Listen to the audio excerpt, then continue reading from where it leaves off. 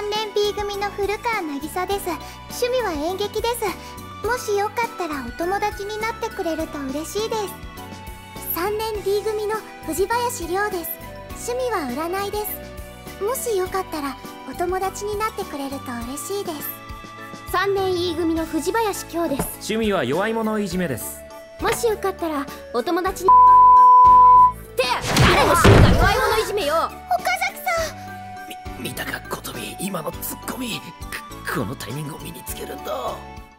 On April 28th of 2004, developer Key's third visual novel Clannad was released in Japan. This was a pretty big risk for them as back then most visual novels resorted to including adult content in order to drive sales, and to do otherwise was considered commercial suicide. But the staff was confident in the vision they had for the game and followed through to great success. The notoriety Clannad garnered far exceeded their expectations, and one or two years later they heard a knock on the door from a studio who wanted to animate their newest work. Now, if I were in Key's shoes, I would be terrified. Yes, these guys animated both Air and Kanon a while back, but Clannad is different. It's significantly longer than both of these games combined, and it has a much larger branching timeline that would need to be condensed into a singular story. So you're asking me to let you cut two-thirds off the runtime and rush out a show that will undoubtedly be most people's first exposure to the franchise? Yeah, no thank you. That is a project doomed to fail. So waddle on back to your little studio and, uh, wait, where'd you say you were from?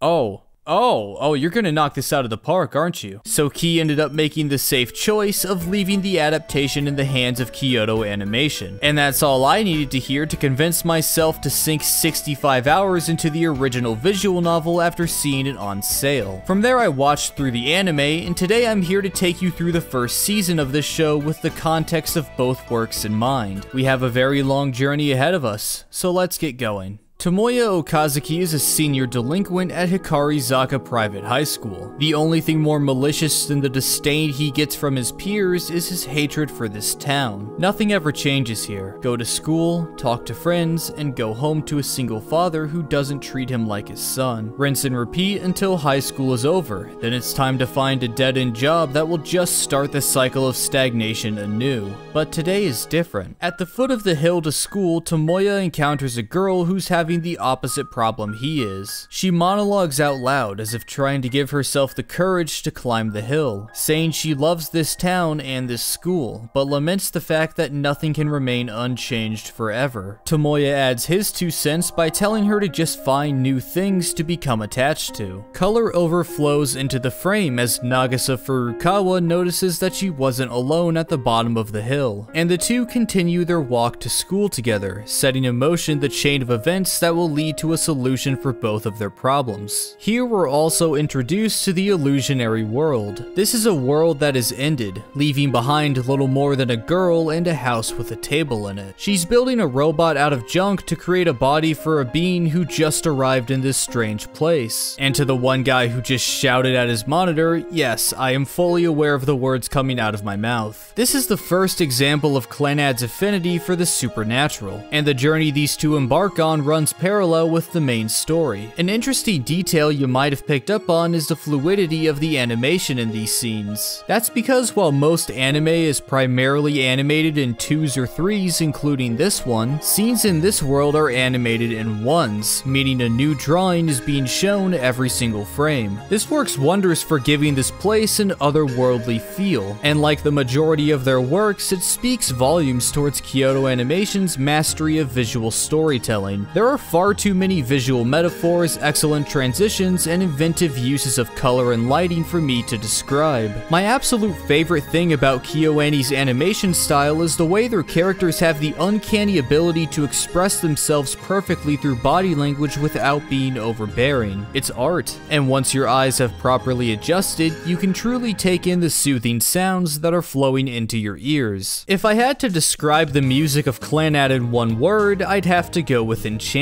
So many of these tracks feel distinct from anything else I've listened to, as if they weren't composed by humans at all, which is pretty ironic, because the main musical motif, Dango Daikazoku, was composed in universe by a corporation who thought pastries with eyes on them were a great idea for a mascot. What's even funnier is Nagisa's embarrassing level of attachment to these little guys, and that's another thing you'll notice right off the bat. Clannad likes to sprinkle a healthy amount of jokes into its mostly serious set of stories. There aren't nearly as many as you'd find in a pure comedy show, but what's here really understands my sense of humor. Tomoya's pranks are a great example of this. I've studied the art of being mean to my friends for many years, but never in my life have I come across someone who's nailed it down to a science like he has. This is the guy who has less than a minute to react when a friend named Fuko Ibuki, who's constantly zoning out due to her overwhelming affection for starfish, has another one of her episodes. So what does he do? He catches another one of his friends, Ryo Fujibayashi, and calls her over, telling her that when Space Case comes to, she needs to say, I'm Tomoya and I turned into a girl. And if Fuko asks how that happened, just say my dick fell off. You can't teach that. Impeccable timing, brilliant execution, and he sticks the landing perfectly every time. While most of the other characters don't have the same gift for comedy that Tomoya does, they all have the ability to make you laugh. I think part of the reason for this is because of how likable they are. In both media and real life, people are funnier to you the more you like them personally, so it should come to no surprise when I say that I like every single character in Clannad. You might not think this is very impressive impressive, but that could be because you've forgotten how large this show's cast of characters is. Hikarizaka is a small city, but almost everyone in it has a story to tell. Tomoya is our main man who only has his father Naoyuki Okazaki to bring to the table, much to his dismay. He used to play basketball in middle school, but during a fight with his father, he dislocated his right shoulder, leaving him unable to lift his right arm above his shoulder for the rest of his life. His inability to play basketball anymore turned turned him into the cynical, stagnant delinquent with a chip on his shoulder that we see when the show begins. Things aren't all bad though. He has a surprisingly caring personality and is shown to be very reliable when it comes to helping others with their problems. His best friend, Yohei Sunohara, however, is not one of those people. This guy gets pooped all over more times than any bro character I've ever seen, whether he deserves it or not. And it doesn't help that his little sister Mei is fantastic at everything, while he's touted as well... もしもし今のお兄ちゃん？そうだ。お前の人生最大の汚点であるところの His incredibly misguided antics do make him great comic relief, so you can't say he's completely good for nothing. Nagisa is our female lead, and her parents Akio and Sanae are always entertaining to watch. Akio never has a dull moment because everything he does is comedy gold, and Sanae was the landslide victor of the Sweetest Woman Alive competition. Kyo Fujibayashi is a hot-headed and aggressive friend to Tomoya. Her boundless energy and reliable nature makes her fun to hang out with, and her pet baby boar Botan nailed it can usually be seen when she's around. Her sister Ryo is her polar opposite, the shy and reserved type who's more likely to break down crying than she is to get mildly angry. Tomoyo Sakagami is a super strong, super smart, and super responsible girl with a long history of violence that led her to the reformed person she is today. Kotomi Ichinose is a strange, socially inept bookworm who usually keeps to herself and skips classes because the school knows she's too intelligent to take them. Fuko Ibuki is an even weirder, hyperactive girl who's rumored to be a ghost around school because of the fact that nobody's ever seen her in class. She has a sister named Coco who used to be an art teacher three years ago, however the two don't seem to talk very much nowadays. Yusuke Yoshino is Coco's fiance, a former musician who now works as an electrician. He went to high school with Misae Sagara, the dorm mother of the boys' dorm at Hikarizaka High. She achieved a full week of perfect attendance when she was the student council president in her youth, which is why Tomoyo respects her as much as she does. And finally, Yukine Miyazawa is the kind and helpful girl who can usually be found in the reference room making food for a lot of really shady looking people. I could go on, but I think you get the point. They're all so varied in both personality and circumstances that it's always a joy to see them interact in different combinations of each other. But all of these positives I've been going on about don't really mean anything if KyoAni couldn't organize this into a condensed linear timeline. This was the most daunting challenge Clannad's adaptation had to overcome. Excluding joke routes, the original visual novel has about 12 of them, and most come with hours of content. That's a lot of branching paths to smush together, creating what I can only assume was a nightmare for both the people who organized the scenes in this show and for online content creators who like their videos to have flow. But all things considered, they did a really good job. It's paced in a way that gives everyone important a healthy amount of screen time, whether they're directly participating in someone else's arc or having their own. You'd think having characters pop up all the time each episode would feel borderline schizophrenic, but KyoAni was careful and took their time to ensure that nothing feels rushed. They're very good at incorporating other characters into scenes and stories that don't belong to them without having them steal the spotlight. And in Clannad's eyes, only a select few characters are worthy of taking the stage for an extended period of time. The first season spends most of its time recreating the story arcs of the show's five main female characters. And wouldn't you know it, the first major character arc belongs to Little Miss Starfish. The normal lives of our main characters are thrown into a state of confusion and morbid curiosity as they're no longer able to ignore the weird girl who keeps giving carvings of starfish to people. It turns out Fuko is handing these out in exchange for an RSVP to her sister's wedding. The reaction from normal students is about as what the hell as you'd expect, but Tomoya and Nagisa become interested in helping her because they believe the rumored ghost story surrounding her might be true. See, Nagisa is currently repeating her senior year of high school because of health problems, meaning she's the only student in the school who's met Fuko's sister, an art teacher who retired after Nagisa's first year. Ghost stories are pretty far-fetched, and I wouldn't expect a rational person to seriously consider whether or not one is true. But if you're talking to a girl that you know for certain is in a coma right now, it's time to start asking questions. The first one that came to my mind is what exactly is the story behind you and Coco? They can't be together. Coco believes Fuko is still in the hospital, and whatever her reason may be, Fuko refuses to go see Coco when asked. Going so far as to crash at Nagisa's house because she doesn't want to go home. But despite this, day in and day out, she carves starfish and hands them out to as many members of the student body as possible. It's clear that these two share an unbreakable bond even if they're never allowed to be in the same room together. It's in the way they talk about each other as well as the selflessness of their actions. They haven't seen each other for a very long time, but it's obvious they both spend a significant amount of their day thinking about the other person. Coco genuinely considering postponing her wedding until she can get the approval of her comatose sister, and Fuko's laser focus on getting as many people to come to the wedding as possible creates this heartbreaking catch-22 scenario that Tomoya and Nagisa try their hardest to fix. The easy solution is to just have them meet, right? Sure, Fuko must have her reasons for not wanting to, but having Coco come to the Founders Festival seems like a golden opportunity to fix everything. Fuko and her two new friends stand with her at the gate as they wait for Coco to to arrive, but their aspirations are quickly stomped out by a seemingly innocuous statement. 場所は変わらないのになんだか違う学校みたい知らない生徒ばかりだからですね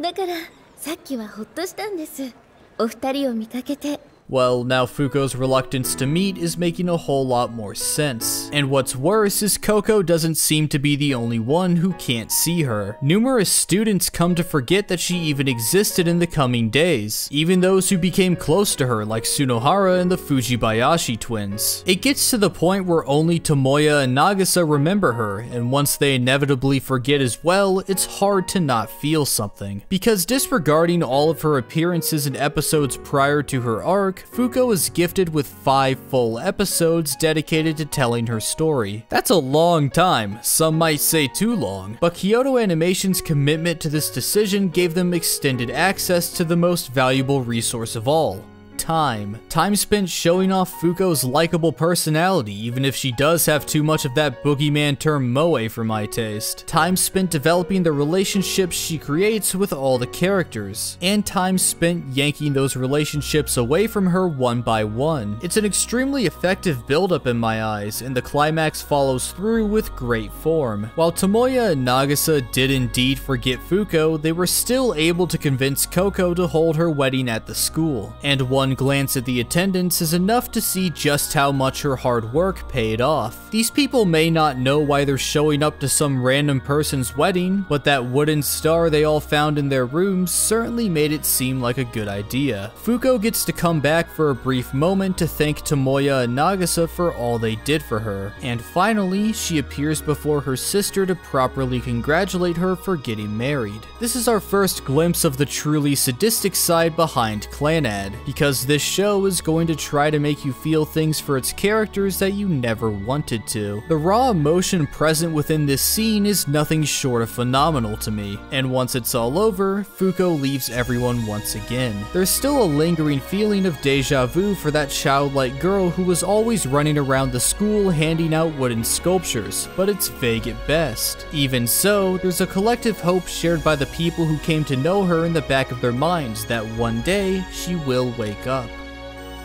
もしよろしければ風子のお友達になってください。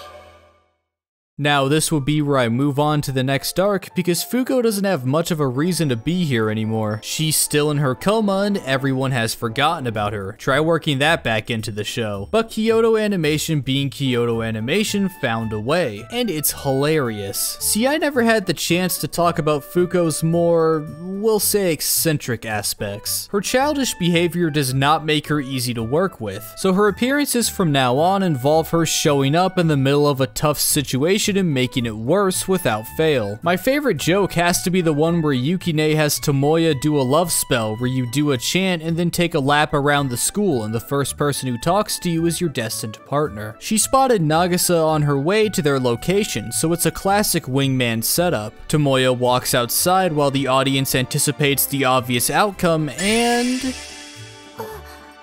Oh shit. But Tomoya, quick on his feet as always, hushes her and says there's a hungry bear walking around and she needs to act like a zombie if she's going to get by undetected. He definitely has a gift when it comes to handling tough customers, but the next character on the chopping block might be a little too much for anyone to handle. Kotomi Ichinose Mark I is an all-purpose appliance robot who wields the violin and uses its destructive capabilities to battle against the never-ending scourge of bullies. Well, that's stretching the truth just a bit. Her violin is closer to apocalyptic than destructive.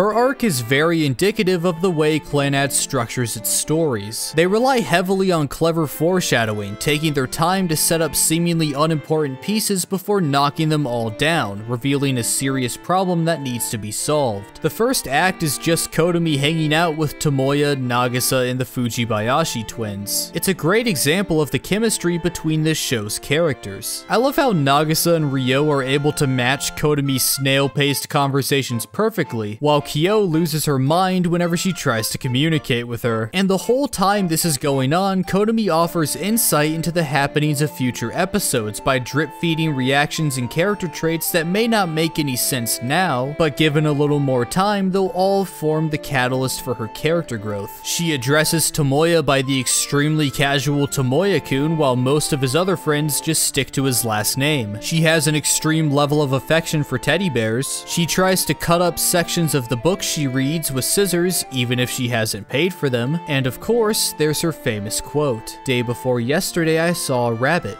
and yesterday, I saw a deer. And today, you. This is taken from Robert F. Young's 1961 short story, The Dandelion Girl. It's a story about a girl who uses a time machine her father built to travel back in time to visit a man in Cove City. She visits him once every day, and soon the man falls in love with her despite already having a wife. It ends with the girl using her final time travel to go back 20 years and meet the man when they were the same age, later becoming his wife. The twist is the man man's wife and the time traveling girl were the same person the whole time. If you're wondering what this has to do with Kotomi's story, well, it's later revealed that Tomoya met Kotomi when they were children, but for one reason or another, he forgot about her. Referencing this story every now and again was her strange way of telling him they've met in the past, which makes perfect sense for someone as well read and socially inept as Kotomi. I really value plots that feel planned, so watching all these pieces fall into place as the story took me towards a satisfying conclusion during the second and third acts was extremely enjoyable for me. But I'm getting ahead of myself, we still haven't discussed the inciting event for Kotomi's arc. After a healthy amount of relationship building between our five friends, Nagisa comes running in to tell everyone that a bus has crashed in the city and Ryo might have been on it. Thankfully she wasn't, in fact nobody was except the driver who came out unscathed. Everybody breathes a sigh of relief except for Kotomi, who stares off into space before letting out one of the most realistic screams I've ever heard.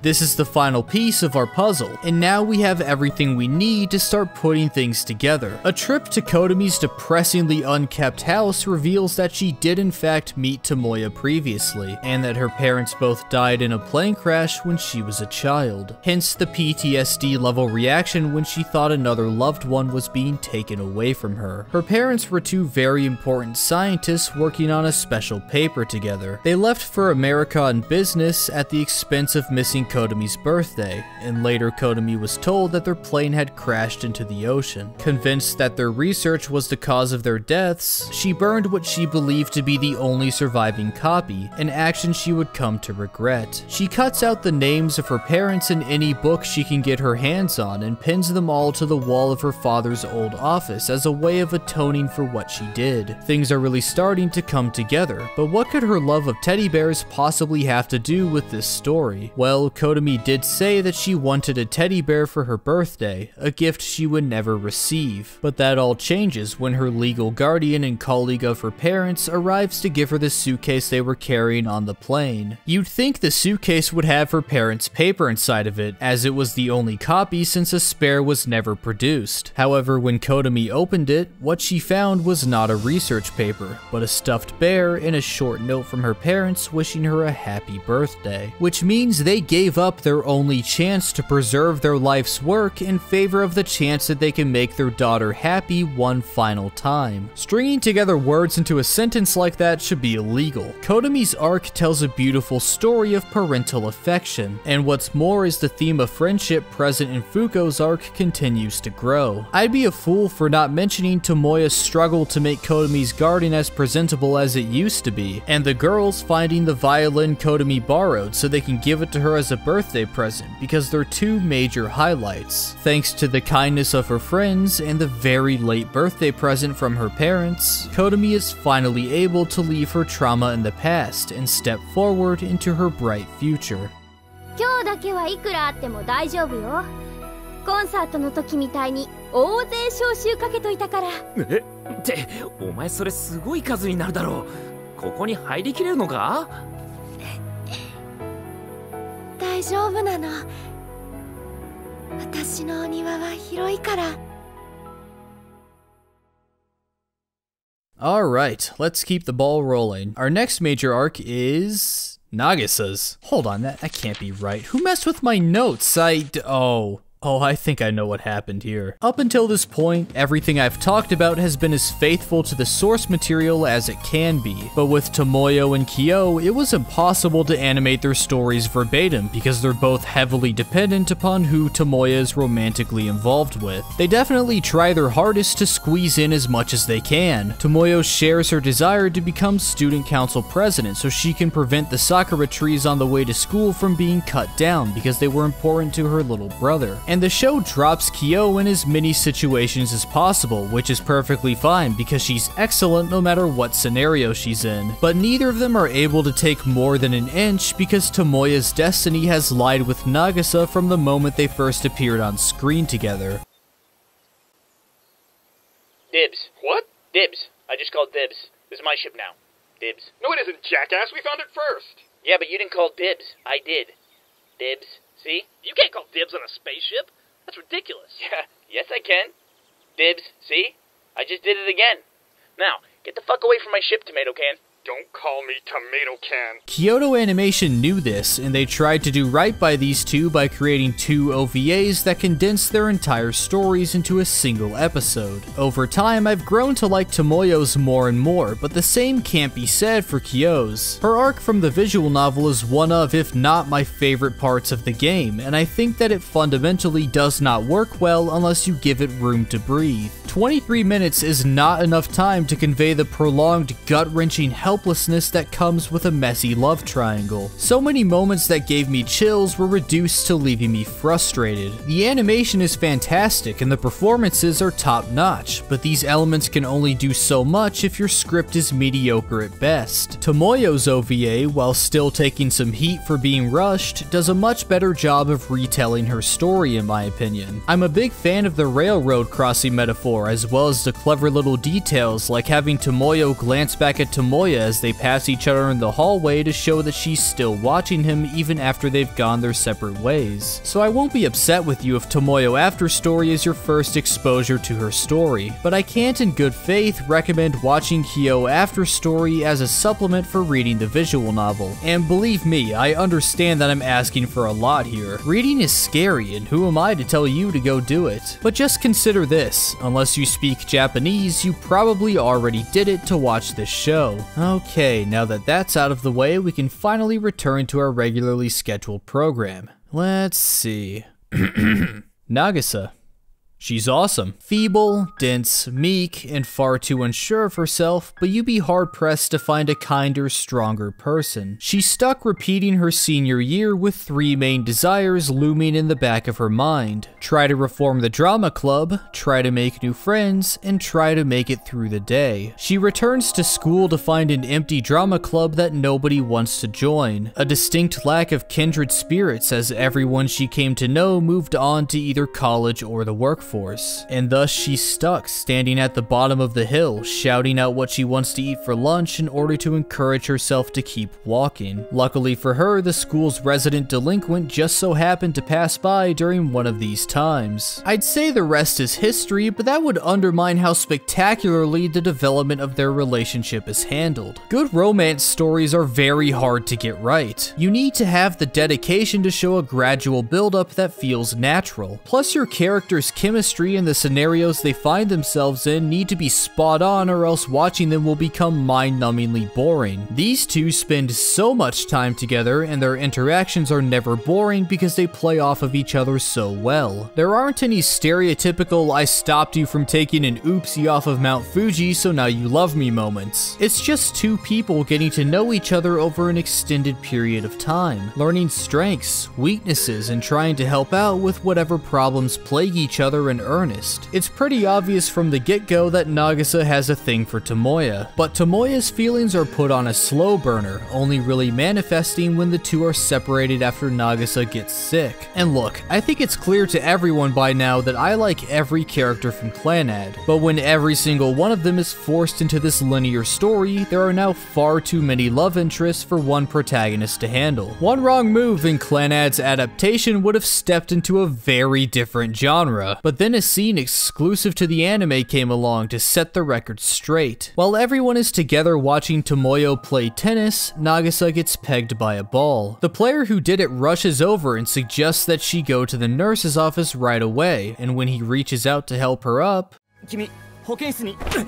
it was instant, it was instinctual, it was the most genuine thing he could have done, and everybody who witnessed it understood this. In one split second, Tomoya makes his decision crystal clear, even if he doesn't realize it himself. And with this mess cleaned up nicely, all that's left is to follow through with the rest of Nagisa's story. After many trials and tribulations, the drama club is now poised to make an appearance at the school festival, and Tomoya is now crashing at Nagisa's place after she saw how broken his his relationship with his father is. She has an idea of the kind of play she wants to perform, and it's eerily similar to the tale told by the illusionary world. She doesn't remember the entire thing, so Tomoya takes her to go rummage around the bakery to see if they can find the source material, but they're quickly stopped by Akio. He explains to Tomoya that there's something hidden in the shed that he and Sanae don't want Nagisa to find their past. Albums, journals, videos, everything that cataloged the lives these two led before they gave birth to Nagisa. They planned on continuing their dream jobs even after they had her, and this choice came with some dire consequences. Because Nagisa, frail as she is, had one of her signature fevers during a snowstorm 10 years ago, and both Akio and Sanae had to leave her alone for a few hours so they could work. Akio came home to find Nagisa outside face down in the snow because she wanted to wait for them to get back and she barely survived. This near-death experience caused the two to quit their jobs immediately so they could focus on being with her as much as possible. Thus, the Furukawa Bakery was born. Tomoya was told to not let Nagisa find out about this because knowing her, she'd think that her parents giving up on their dreams was all her fault. This is going to prove difficult because Nagisa already told Tomoya she's concerned that she did something terrible to her parents in the past and she wants to know what it was. But with her big day coming up soon, this is the last thing she needs to be thinking about right now. As fate would have it though, the worst case scenario comes to fruition, and the show must go on regardless of the state its star is in. Unable to shake her own self-hatred, she breaks down crying on stage. Nobody knows what to do, they all just sit there in utter shock. Just as things start to seem hopeless, Akio runs in to scream that Nagisa needs to make her dream come true, and to flat out tell the audience what Clannad is all about.